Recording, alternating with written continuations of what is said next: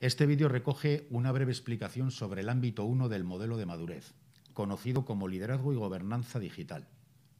Dentro de este ámbito, se anima a los centros de FP y a sus equipos directivos a abordar aspectos estratégicos y organizativos en aras de la transformación digital, la supresión de barreras para los colectivos vulnerables y la inmersión en una cultura digital colaborativa y segura.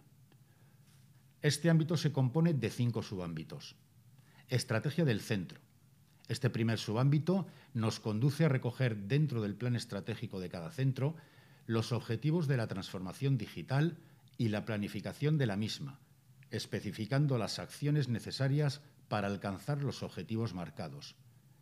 Por ejemplo, disponer de un plan estratégico que contemple la globalidad del modelo de madurez. Que los procesos de enseñanza-aprendizaje se desarrollen conforme a los objetivos del plan estratégico. Disponer de un plan de seguimiento que permita evaluar el modelo de madurez. El segundo de los subámbitos es el tratamiento del desarrollo sostenible, esto es, la atención a los colectivos vulnerables y la eliminación de la disparidad de género, de forma que se garantice el desarrollo de las capacidades digitales para las diferentes realidades existentes, eliminando la brecha de género y potenciando la igualdad de oportunidades de los colectivos vulnerables. Por ejemplo, asegurando que la diversidad funcional no afecte a la igualdad de oportunidades, al acceso a la información, al aprendizaje y a la adquisición de competencias, ofreciendo refuerzos personalizados a los individuos y colectivos con insuficiencia en competencias digitales, promoviendo acciones que favorezcan la igualdad de género en el área digital.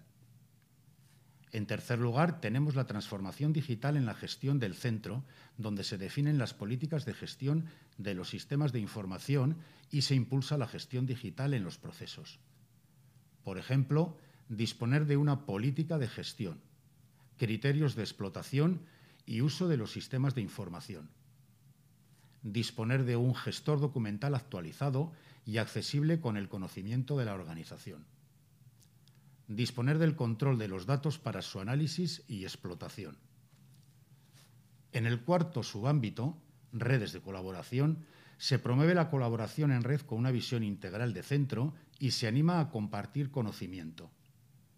Por ejemplo, utilizando herramientas digitales colaborativas para la gestión de los procesos del centro, comprometiéndose a la colaboración y el intercambio de conocimiento con asociaciones y organizaciones educativas, tecnológicas, empresariales y comunitarias.